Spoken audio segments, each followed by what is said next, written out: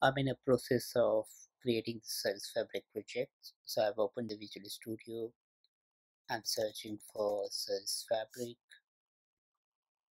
Currently I'm using Visual Studio 2019, but you, if you want you can create it in 2017 as well. You need to install some SDK. So let me check that if I have the SDK installed.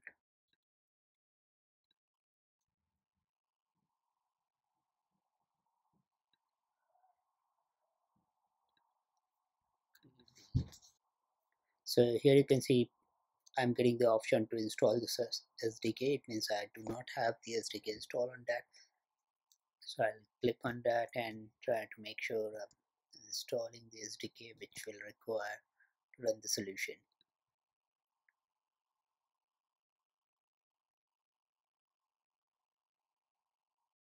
The installation is completed now. On and create a new project and I'll call this as an stateless service. And if you look at at the left panel we have multiple options to create different different services type. So at the moment I am using the .NET Core and using the .NET Core I am going to use stateless service. But if you want you can create the stateful actor a stateless ASP.NET Core application as well so let's select the stateless service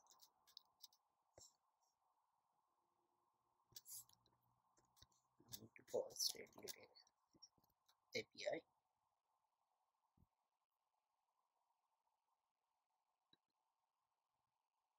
so here is my service fabric project created successfully and this is the stateless service if you check the references inside the service fabric project which is with this icon you have the services as a reference added. So currently I have the service added as in stateless API if but if in That's future if you are going to add any new services then you would have option to select the other services or to add other services as well let me first of all try to run the service just to make sure it is working fine and then we'll discuss the different configuration options within the service fabric project.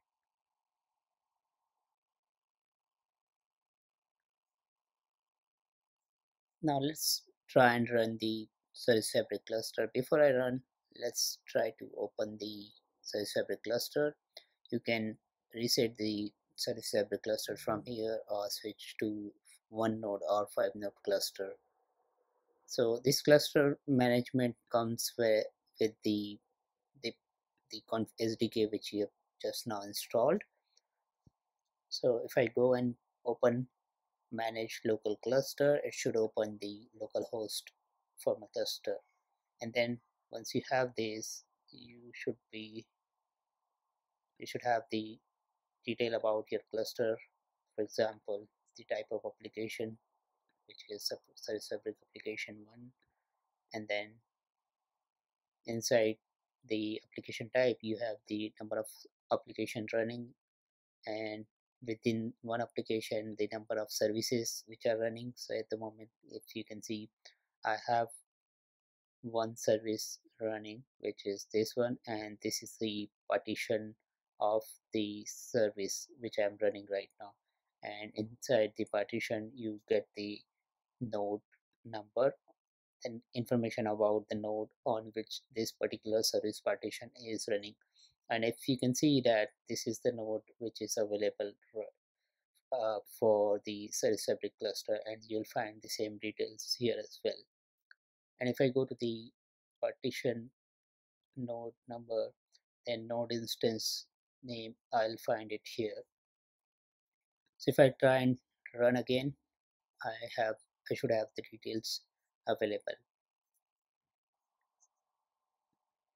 Now let's create one REST API here with the service fabric. So what I do is I'll right click here on the services add new service fabric service and then create a stateless service in the .NET Core basically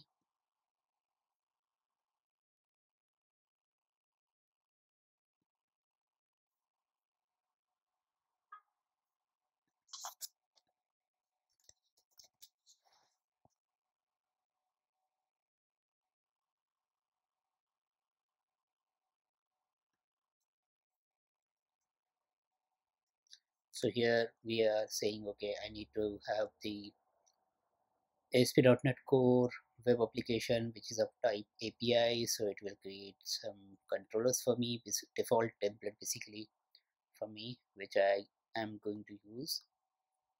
So once I've created that I have now two services. One is the web API and other one is the stateless API which is available here. So now if I'm going to run before I do that. Let me check what we have here. On the startup.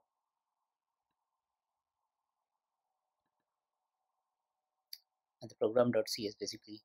It's the same code. Uh, it is trying to run the register the services as a context. And if I go to the service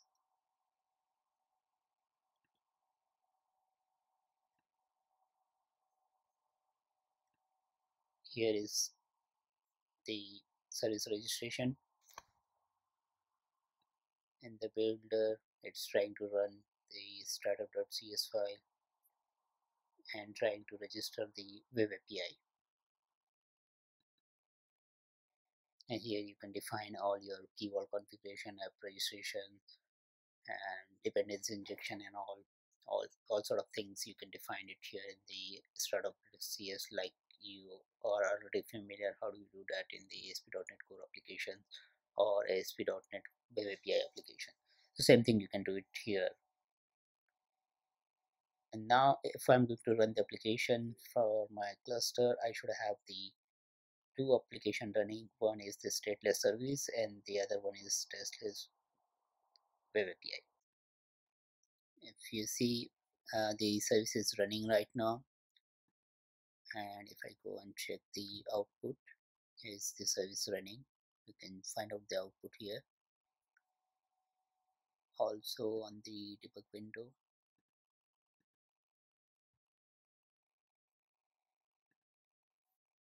Yeah.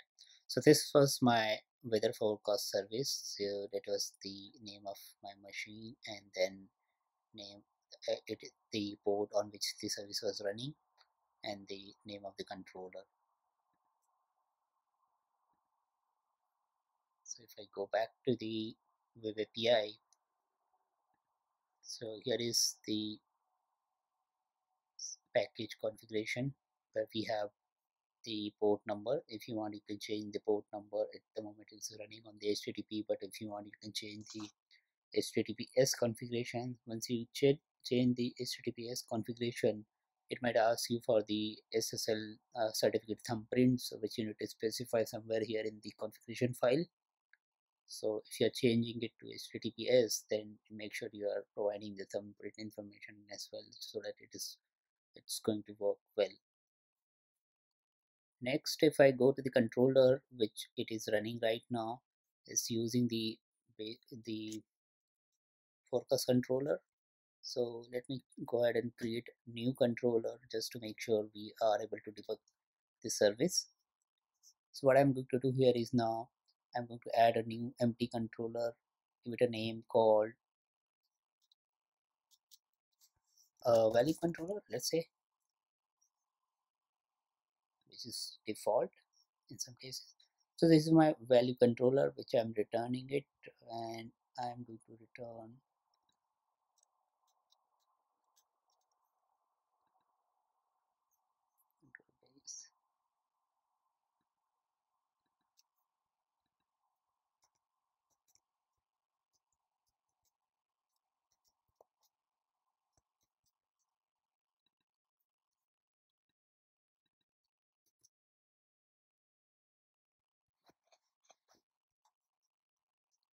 what I'm going to do here is sorry I made mistake.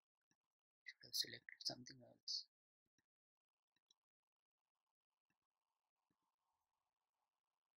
API controller instead of MVC it should be API controller.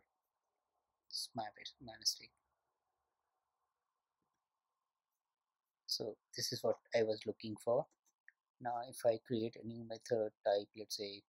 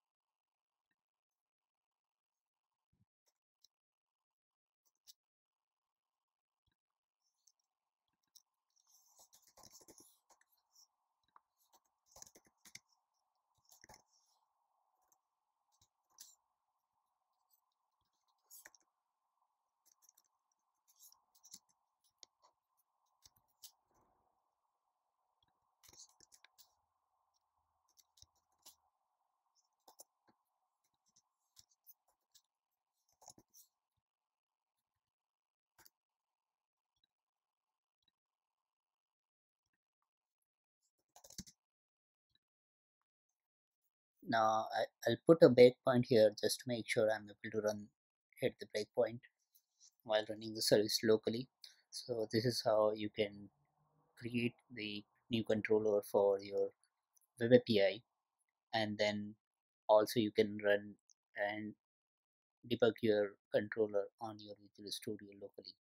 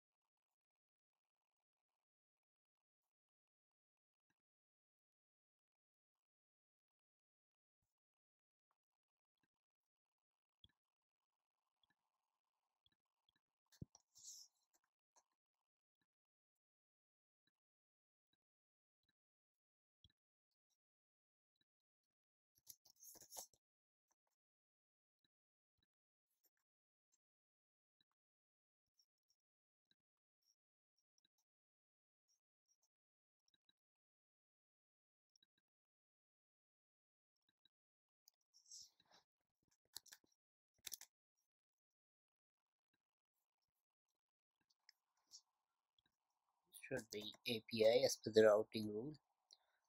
So I was making a, a bit of mistake because our writing routing rule for our API says it should be the name of your website and which is localhost, the port number which is 890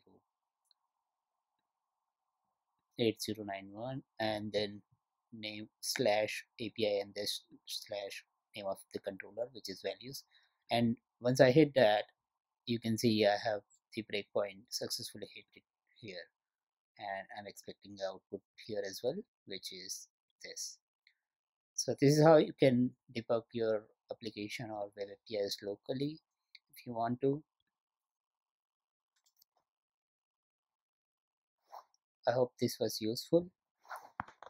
In the next video we'll see the more detail about the uh, API with the service fabric Stay tuned.